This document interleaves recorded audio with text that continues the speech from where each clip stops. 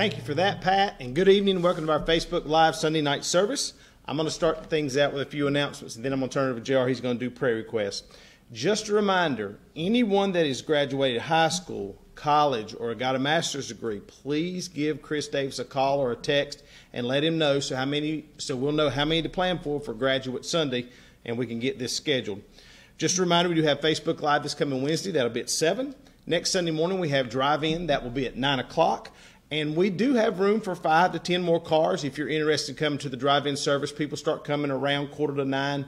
And normally by 9 o'clock, we're ready to get started. We will have Facebook Live. That'll be at 1030 next Sunday morning. And then Zoom next Sunday afternoon for our kids. And then next Sunday night, our Facebook Live service at 6. Deacons, just a reminder, we do have a meeting next Monday, 6.30 in the fellowship hall. And then our virtual VBS, June 22nd through the 25th. We need all our kids to get signed up. You can call Stephanie or call the church so we can get your kids registered. Now I'm going to turn it over to JR. Well, good evening, everyone. I'm going to share some prayer requests with you and pray, and then we'll have some special music. We do need to pray for Dixie Kacheski and her son Joseph, especially Joseph, having some serious heart issues. Richard Badgett, our missionary in White River, South Africa, has been battling some kind of sickness for, I don't know, maybe a month or more, uh, sinus related, that kind of thing. He does not have the virus or anything like that, but uh, we do need to pray for Richard and Laura Badgett.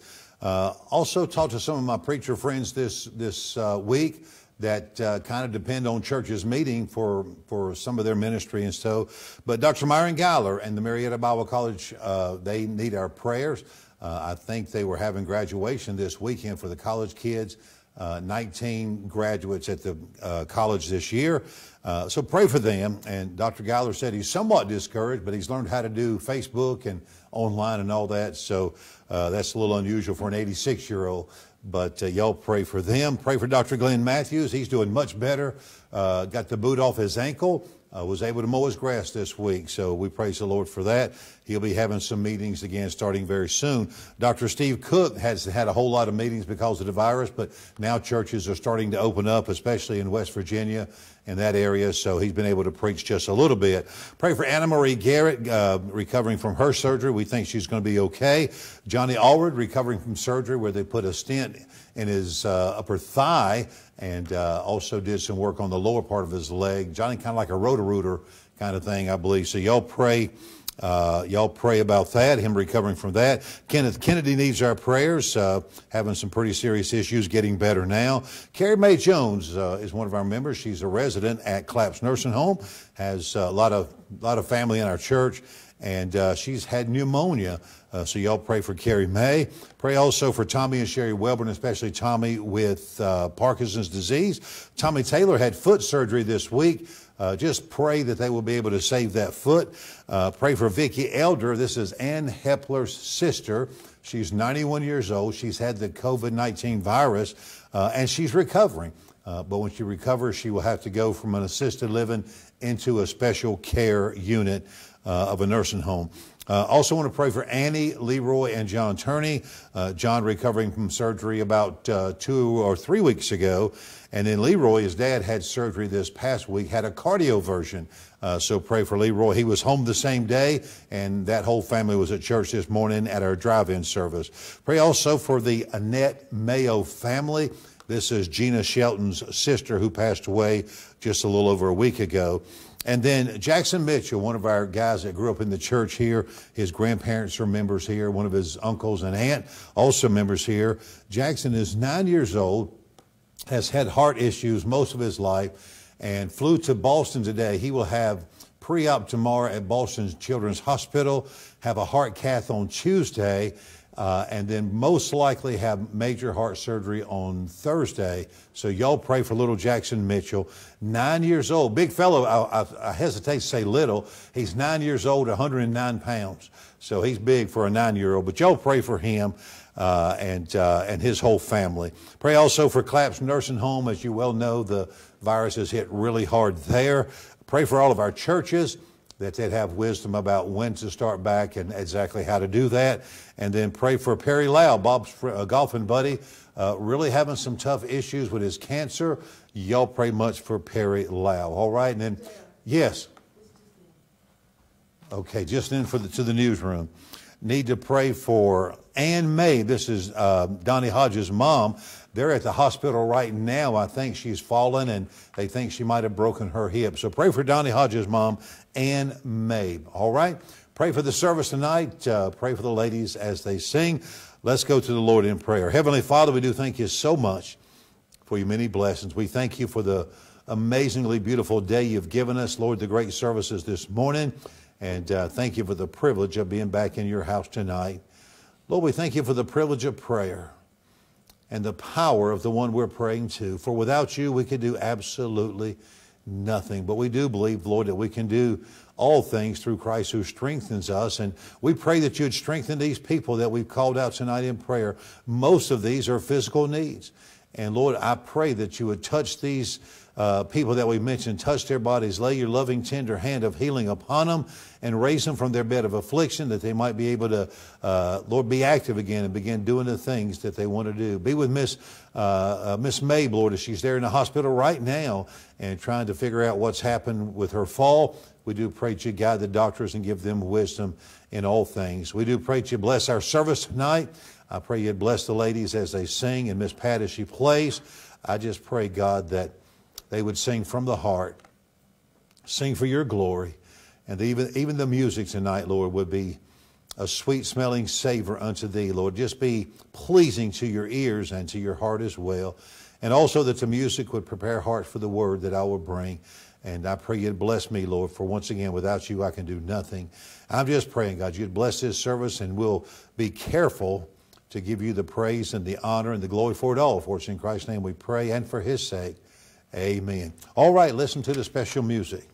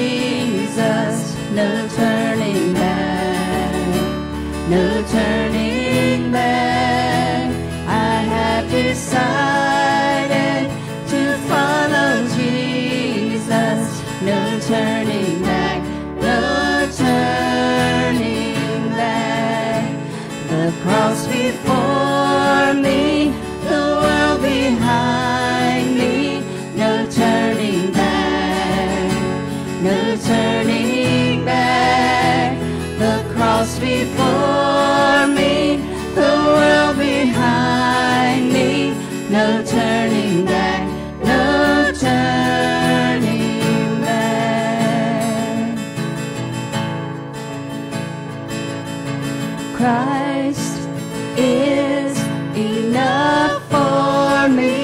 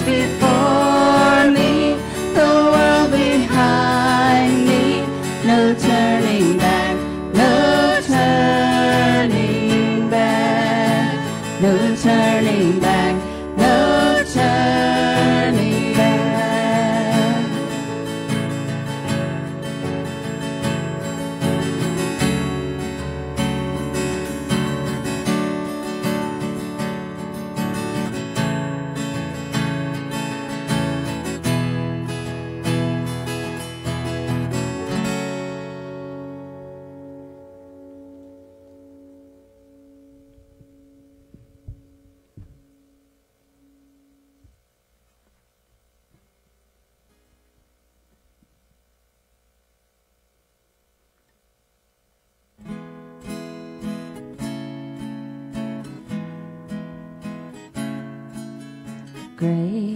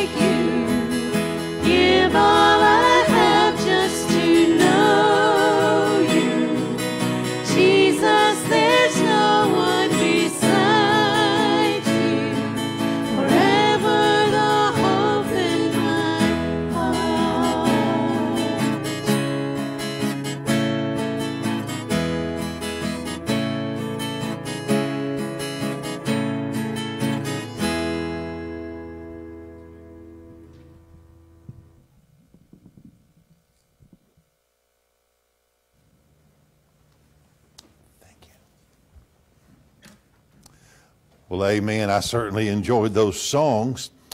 It amazes me how three ladies from totally different backgrounds can all blend their voices together so well.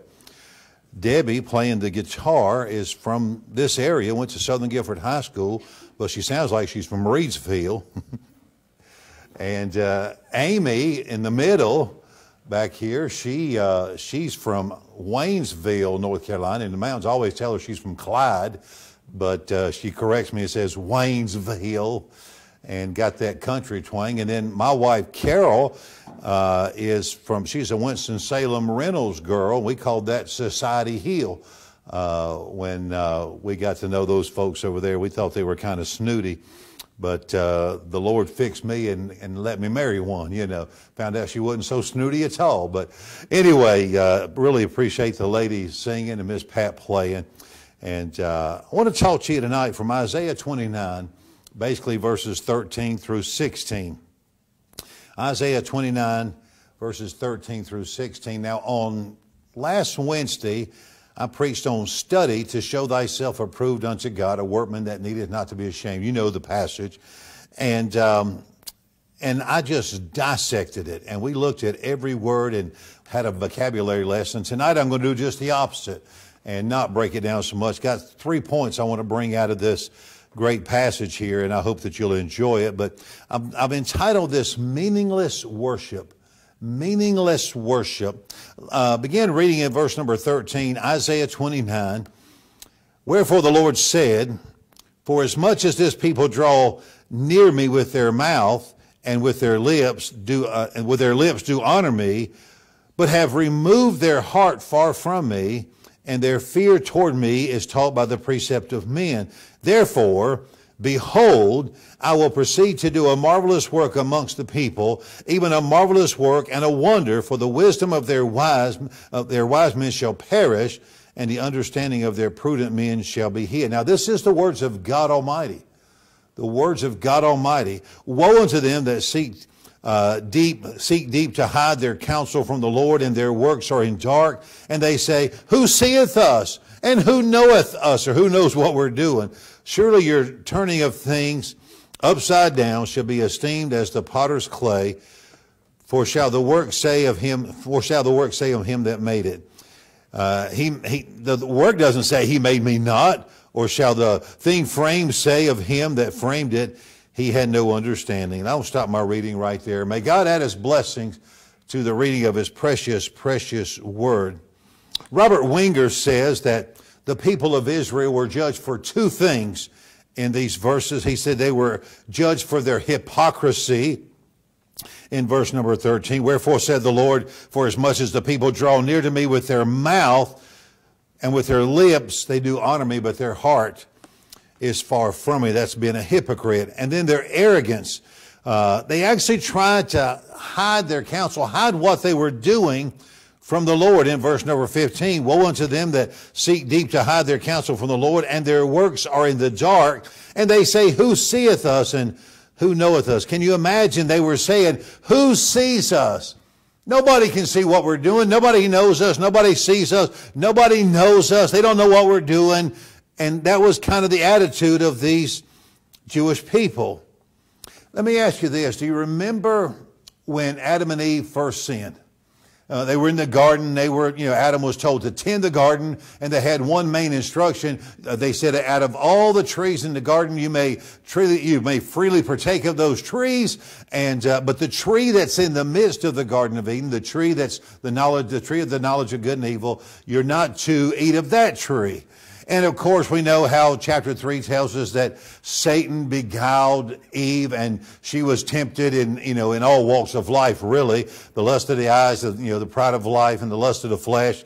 And she gave in and she ate. And as soon as she had eaten of the apple or whatever it was, we don't really know what the fruit was, but as soon as she had eaten, her eyes were open and she knew she was in trouble and she turns and the first thing she wants to do is get her husband in trouble. Here, honey, try this And of course, he ate too because he wanted to be on the same plane that his wife was. But when they sinned, their eyes immediately were open. They knew they were naked and they went out and made fig leaves for themselves. What were they trying to do? First, they hid from God. They made fig leaves for themselves. They were trying to cover up their nakedness, trying to cover up their sin. It was the world's first ever attempt at, uh, at uh, false religion or, you know, trying to cover one's own sin. So they had made these fig leaves for themselves. It was an attempt at man-made religion is probably the best way to say that because they were trying to hide themselves from God. Now, the people of Isaiah's day, they were fooling themselves by saying that God doesn't know what we're doing and God doesn't know why we're doing it. He don't even know who we are. How, he don't know who we are, what we're doing, why we're doing it. God just simply doesn't know. Isn't that foolish to think that God doesn't know? Because God knows all things. He created the entire universe in, in six days, rested on the seventh. He sustains the entire universe. Not only does He know who I am, uh, Chris, He knows the number of hairs on my head, and it's getting less every day. Uh, my bald spot's getting bigger, bigger. Mike Lamb used to say that way back years ago that my bald spot and my receding hairline are getting closer and closer together, and I see that happening. But God knows the number of hairs on our head. He knows knows, he knew all about DNA before man ever realized what DNA was and somebody, uh, you know, somebody discovered it and began to study it. God already knew about it from the foundation of the world. God knew all about us. And here these, these Jewish people are saying that God doesn't know us. He don't know who we are. He doesn't know what we're doing. We're okay. We can get away with this. How foolish is that? But let me say this, 2,700 years later, people are still doing the same thing. They think they can live to themselves and die to themselves. The Bible teaches that that's absolutely impossible. But people today, they're still saying, well, God doesn't really see what I'm doing, and, uh, you know, God doesn't see and He doesn't care, so I can get away with what I want to. You remember this if God says do it from this perfect holy word, if God says do it and you don't, it's sin. And if God says don't do it and you do it, it's sin. And if you're a child of God, all sin, any sin, every sin breaks fellowship with your Heavenly Father. And when we realize we sin, the Holy Spirit, if you're a child of God, you got the Holy Spirit inside of you, and the Holy Spirit will convict you of your sin, and you should, uh, you should confess your sin, agree with God about it. If we confess our sins, He is faithful and just to forgive us our sins and to cleanse us from all unrighteousness. If we really, genuinely, sincerely confess our sins. I want to look at three things in these two verses tonight, mostly concerning meaningless worship. Remember, these are the words of Almighty God. First, I want you to notice the atmosphere of worship in Isaiah's day. In Isaiah's day, you would find lots of people around the temple especially when they were doing sacrifices. Lots of people around the temple. There was a place for the men designated just for the men only. There was another place designated for the women only. And there was a third place designated for Gentiles only. If you go to the old city of Jerusalem today, and we always take that trip when we're blessed to go there, if you go to the Wailing Wall, you'll still see that today 2020, uh, you go there, and if you go to the Wailing Wall, there is a screen. A, it's actually a portable screen, but there is a divider between the women's side and the men's side. And there's always more men there for some reason than there are women. If you're on the men's side, you can actually go into a little tunnel there, uh, and they've got it built up as a study place for the Jewish rabbis. And uh, Dr. Oh, my, my name. Honey, what's our Jewish friend's name uh, in Tennessee? Jack Reese. Dr. Jack Reese was with us on one occasion. He is a converted Jew, and he went into that uh, classroom in there, that place where they studied in that tunnel. It's uh, just uh, if you're looking east, I guess it'll be just north of the Wailing Wall and just almost right under the Temple Mount. But uh, he goes in there and he comes out with one of their books. I said, Where did you get that book? He said, One of the rabbis gave it to him. But uh, there's still these separations of the men and the women. But in Isaiah's day, there would have been that separation. There would have been a lot of people around the temple.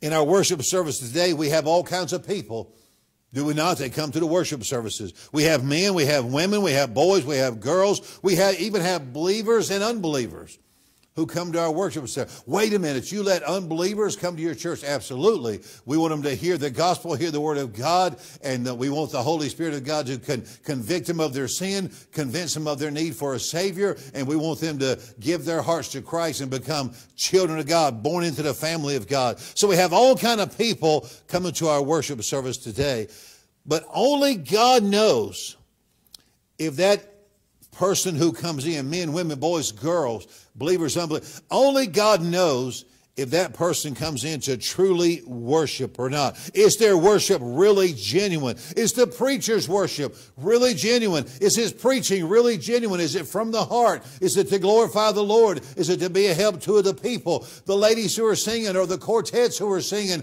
or the individuals who are singing, is it really coming from the heart to glorify the Lord or they just up there, they want to make a show? We don't know, but God does. And usually that individual knows as well. But God knows and God's the only one that matters. and we need to remember that.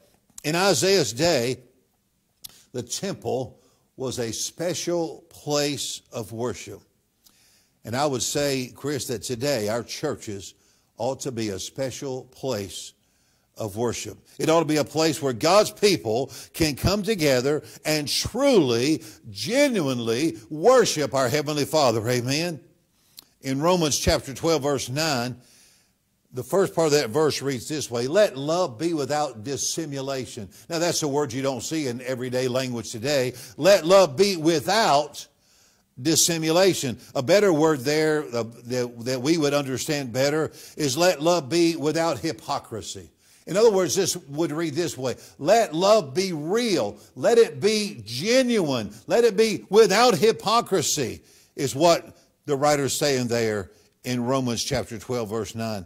It means that love should be without hypocrisy. And if love should be without hypocrisy, and we come to church to express our love to the Heavenly Father, then certainly our worship should be without, without hypocrisy as well. Second thing I want you to see is this. They, in Isaiah's day, they were simply going through the motions of worship.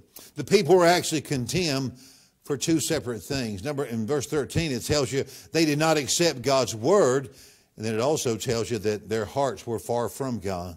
Notice again in 13, wherefore the Lord said, For as much as this people draw near me with their mouth and with their lips, and they do honor me, but they have removed their heart far from me, and their fear toward me is taught by the precept of men simply put, they did not accept God's holy word. Why, why, do you say that, preacher? Well, if they really believed God and His word, they would fear Him with a reverence, with a reverential type fear, instead of what they're doing, they reverence the precepts of men, is what this is saying.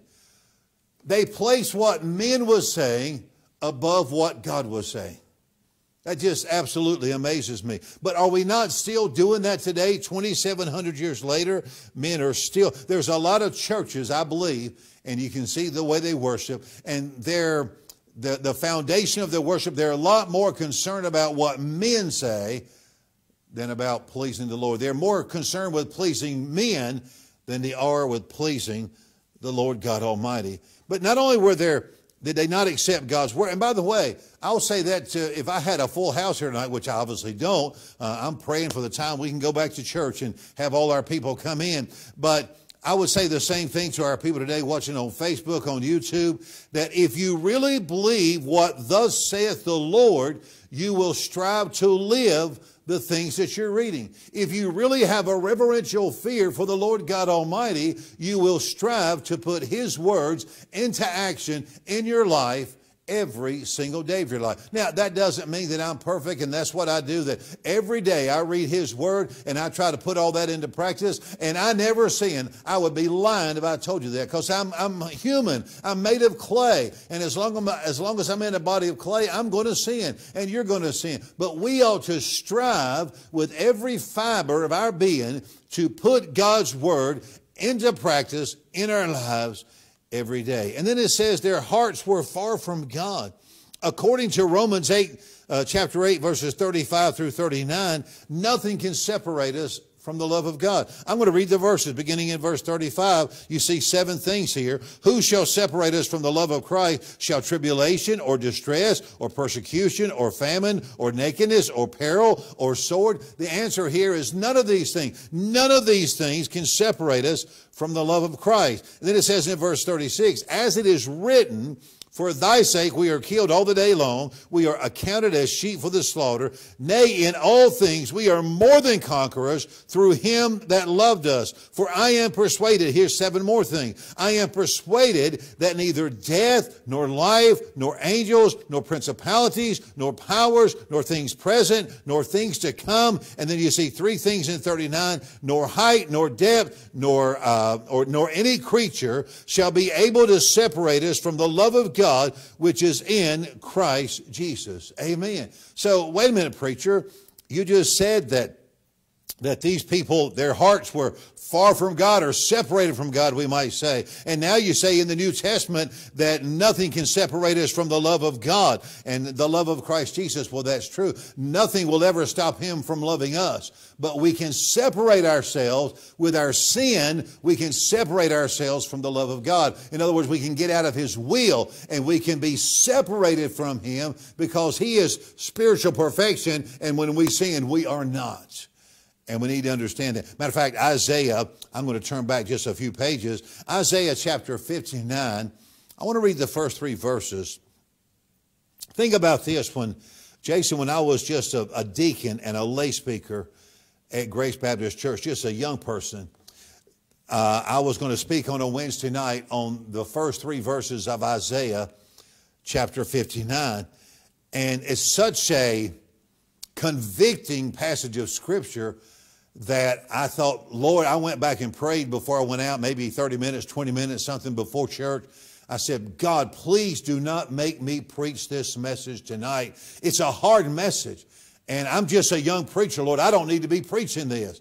And finally, after I prayed, I thought to myself, well, it's Wednesday night. There won't be but 30 people here maybe anyway. Well, Anthony, I go out there maybe just 10 minutes before the service. There was the most, the biggest Wednesday night crowd we'd ever had, I guess. There must have been 50 or 60 people. I went back and prayed again. I said, Lord, please don't make me preach this message. Look what it says in these verses. Behold, the Lord's hand is not shortened that it cannot save, neither is ear heavy that it cannot hear, but your iniquities, your sin, have separated between you and your God, and your sins have hid his face from you, that he will not hear.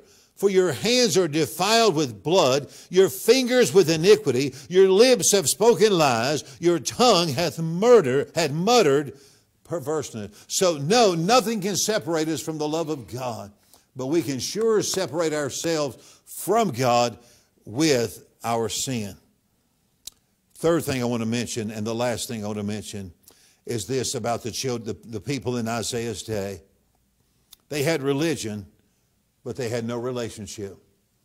They had religion, but they had no relationship. Well, I say this so much, Carol says, honey, you say that all the time, but I'm going to say it again tonight. My preacher, Roger Smith, used to say this all the time. If I had religion, I'd trade it for a hound dog and shoot the hound dog. Religion's not worth anything. But a relationship with Christ is worth everything in the world. Amen. Everything in you. It's the main thing. But religion, there's all kind of false religions and crazy religions and just, just insane stuff out there. But we need to have, make sure we have a relationship with the Lord God Almighty. We know that there are a lot of false religions today that meet at the appointed time, go through the motions of worshiping their God. And I should have put their God with a little g because there's a lot of people wor- worshiping false gods, and we know that. We also know that there's only one true and living God, and if they're not worshiping Him, their worship is meaningless. All, all, they're, they're satisfying themselves and their own curiosities and making themselves feel better, I guess. But if they're not worshiping the one true and living God, their worship is in vain and it's meaningless. We also know that there are religions that claim to worship the same God, Jehovah, that we worship. And we know that their worship and their beliefs and their doctrines and their teaching are not in line with God's holy word. a couple of examples. How about the Mormons and what they teach about Jesus Christ and what Joseph Smith, some of the insane things that he came up with? How about the Jehovah's Witnesses and what they teach? And I remember, Bob, you and I have talked about this a lot, but I remember that um, years ago, uh, very distinguished black gentleman had been to my house many times. He was a Jehovah's Witness. And I got to say this I've never met a nicer guy. He was nice, he was polite, and uh, he knew. He knew his stuff concerning how he's supposed to witness for the Jehovah's Witnesses and he stepped in my garage. I never invited him in, but we talked on several occasions in the garage. And I said, and I said, look, called him by name, and I said, look, you're never going to convince me that your religion's right that what you believe is right. I said, You're never going to convince me of that. And I'm pretty sure I'm never going to convince you of some things. But I began to share some things. Now, we're talking, about, we're talking about some of the things they believe, and I'm just giving you one example. And as we talked, I realized that the main difference between uh, what Christians believe and what the Jehovah's Witnesses believe is that we believe that Jesus Christ is God. We believe that what, what the Bible says about his birth, that his name shall be called Emmanuel, which is being interpreted God with us. We believe that, that, that Christ incarnate is God who became flesh, according to John chapter 1, verse 14. We believe that Jesus Christ is God. God the Father, God the Son, God the Holy Ghost, they're all God, three in one. I talked about that a little bit this morning in the drive in service. They believe that Jesus Christ is the Son of God, but they don't believe he's God. And so I asked this man standing in, in my garage, I'm going to turn back here to another passage real quick, but I asked this, this distinguished gentleman, I said, well, let me ask you a question. And Dr. Galler gave me this thought, by the way, from Marietta Bible College. Uh, and I said, let me ask you one thing. I said, do you believe that Jesus Christ is the Savior of the world? You know where I'm going with this. Do you believe that Jesus Christ is the Savior of the world? He said, ask me again. And I said, Do you believe that Jesus Christ is the Savior, meaning only one? Do you believe that Jesus Christ is the Savior of the world? And he said, I do. And he quoted, what is it, Acts 4.12, and there's none other name given under heaven among men whereby we must be saved. And it's talking about the name of Jesus. And I looked at him, I said, you really believe that? You really believe that Jesus Christ is the Savior of the world? He said, absolutely, I believe that. And then I quoted Isaiah 43.11 where God said, now remember, they say Jesus is not God. But Isaiah 43, and he said that Jesus is the only Savior of the world. Isaiah 43, 11, God said, I, even I am the Lord, and besides me there is no Savior. In other words, there is no other Savior besides God. And I looked at him and I said, either God and Jesus are the same person or God's a liar. And he walked off, and I've never seen him again. Now, I did hear that about two weeks later, three weeks later, he had stopped at one of our neighbors' houses, and I had spoken with her in the meantime, and he's talking with her about where she went to church and so on and so forth. And he began to make his spiel, you know. And finally, she said, Before you continue, can I ask you one question? And he said, Yes, ma'am, what's your question? She said, Do you believe Jesus Christ is the Savior of the world? He said, You've been talking to JR, hadn't you? She said, I sure have. He said, Have a good day, ma'am. He could not refute what we were saying. So I'm, i simply say that to say that we know there's a lot of religions out there that claim to be serving and worshiping the same God that we are, but their doctrines are different. And if their doctrines are not in line with God's holy word, it is a false religion. It is meaningless worship. They had religion, but they had no relationship with the Lord and Savior Jesus Christ one of my concerns throughout the years for the people of Community Baptist Church, and I don't know their hearts, and I don't try to dissect this. I don't, I don't lose any sleep over this, but occasionally this thought pops up. Do we have people that come in on Sunday morning when we could come to church, Sunday morning, Sunday night, Wednesday night? Do we have people that come in to worship and they're simply going through the motions, but they never really worship from the heart and they never have meaningful genuine, real, true worship. I don't know their hearts. I don't know their hearts. Only God knows. Do we have people that are coming in just to be seen or maybe fellowship with the believers, whatever they may be coming in for? I don't know. But are they really coming in to worship God in spirit and in truth as we're instructed to do in John 4 25 when Jesus is having the encounter with the woman at the well? Well, let me close with a few things I believe about genuine worship. Number one, Genuine worship seeks to glorify God above all others.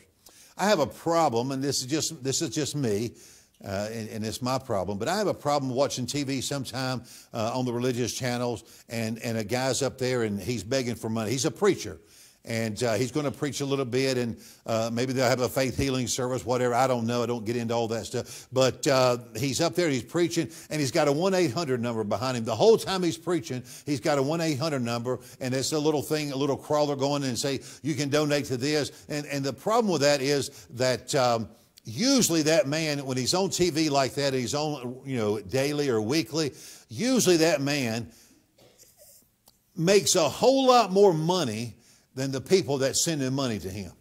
You know, these are people that live in mansions. They have two or three houses sometime and all that sort of thing. And these people are, are the kind of people that it's just meaningless. They're, they're, uh, we, we don't know, we don't know who they are. We don't know their heart, but there are, you can just tell there's some people they're promoting their ministry. They're promoting uh, their products. Here, get this holy towel or get this holy water or whatever. They're promoting themselves. They're promoting their products, and they don't promote the Lord Jesus Christ as they should. Secondly, I believe that we ought to know this. Let me just put it this way: it's, it's genuine worship is not concerned about what kind of building you worship in as long as you glorify the Lord God Almighty. Now, some people wouldn't believe that today, and I believe it's okay to have beautiful buildings. Do not take this the wrong way. But genuine worship is not really so concerned about the style of building that you worship in, or maybe you don't even have a building. Probably one of the, uh, certainly one of the greatest services I've ever been in was in the Philippines by the South China Sea in 1997. My last meeting there on a, I don't know what, I just know it was a night meeting. We went to a youth camp. And I mean, the, the cabins were bamboo walls and thatch roofs. You know what I'm talking about and it was rather kind of primitive. They had a concrete basketball goal, I mean, basketball court outside. And when we arrived, the kids, the boys were all playing basketball out there. Well, that night they put plastic chairs up and we had worship out there. They put up a little stage beside the, the basketball court and I preached from that stage and I, I preached my heart out that night. Uh, it was 120 degrees that day and I don't know, it was probably still 110 that night when I preached. And I was absolutely spiritually, emotionally, and physically exhausted when I got through. But I poured my heart out and I told those people there, there were probably 250 people in the service, and I said, I have preached myself under conviction. I need to pray. And I went down to the altar and I began to pray, and uh, there, there was a song being sung, and I had noticed that there was not much going on around me. And then uh, the second verse started, and I heard chairs all over that con- those plastic chairs on the concrete uh, basketball court, and I know that at least half, probably well more than half of that congregation was at the altar praying, and they were praying and they were weeping and they were crying out to God. And we didn't even have a building. Genuine worship is not so concerned about the kind of building that you're worshiping in. Genuine worship also is not too concerned about the music, uh, whether it's somebody's style or not. Uh, as long as the music glorifies the Lord, I'm okay with it. As long as the words glorify the Lord, I'm okay with it. By the way, who's to say what kind of music is pleasing to the Lord? Debbie, God has never spoken to me in a prayer session and said, Pastor JR, you can only have old hymns in your church. Or Pastor JR, when your court, when your group is saying they can only do Southern gospel. I was listening this morning to XM uh, Enlighten, and they were saying they're going to feature all Southern gospel music by your favorite Southern artists. And they played the national choir singing some old hymn, which was fine, but I didn't consider that. Uh, uh, my favorite quartets, you know, or anything like that. But who's to say what's God's favorite music? We, I, I, mean, God has a lot to say about music, especially in the Psalms. We believe there'll be music in heaven. It talks about that in Revelation, uh, people singing and instruments and the well. But God's not so concerned I, am not so concerned. Real, genuine worship, not so concerned about the music as long as it glorifies the Lord and is pleasing to Him. And I don't know anybody has an inside track on whether country music, country gospel is more pleasing to God than uh, praise and worship. I just don't know that anybody knows that. So we need to understand that if it pleases God and it glorifies God, I'm okay with it. Genuine worship will seek, listen to this. Genuine worship will seek ministry and worship over entertainment every time. Now, I think it's fine if the music's good and it's entertaining and pleasing to the ears. I think that's wonderful. I think that's great. But that shouldn't be our goal when we step out to sing. We should be more concerned about ministry and worshiping and glorifying the Lord than we are entertaining people. Tony Thomas said this, my pastor friend. He said, The church was never instructed to entertain its people from God's Word. There's never any instruction to say that the, that the church's job is to entertain its people. One more and I'm done. Genuine worship seeks more than anything else to please the Heavenly Father. For if we're not pleasing Him, our worship is meaningless. If my messages aren't designed and, and put together and built to glorify the Lord and be a help to people, it's meaningless preaching. If our Sunday school teachers, if they're there just to be seen and uh, hear what they have to say, then that's, that's meaningless teaching. Our, our genuine worship involves more than anything else us glorifying the holy name of Jesus. What is the number one job of the Christian? Glorify his holy name. Not only in how we, how we teach and how we preach and how we sing, but how we live every day. If you go to church for every service when you're able to do that, you go to church for about maybe three or four hours a week. If you go Sunday morning for Sunday school and stay for the worship Sunday night, Wednesday night, you might get four hours of worship in a week. That's still 164 hours that you're on your own. And we need to put to practice, if we're going to glorify the Lord, we need to put into practice those things that we're learning on a, uh, in every service and those things we're learning as we read on our own. And we need to put them into practice because faith without works is dead, and I don't want to, I don't serve a dead God, I serve a risen Savior. Amen. Hey, let me ask you this. When you go to church, when you're able to go to church, even by Facebook or YouTube, is your worship meaningless or is it meaningful? Are you striving with everything you've got to worship God and to glorify His holy name? And if you are, that is real, meaningful worship. And I believe that is a sweet smelling savor unto God. Father, we thank you so much for the privilege we've had to come before you again tonight and to share a little bit about your word with your people. I just pray, God, you would take what's been read and what's been said and that you would implant it in the hearts of people. It would take root there and spring up, Lord, and grow and, uh, Lord, bear much, much fruit in the days ahead. I pray as we go our separate ways tonight, you'd keep your protective hand upon us.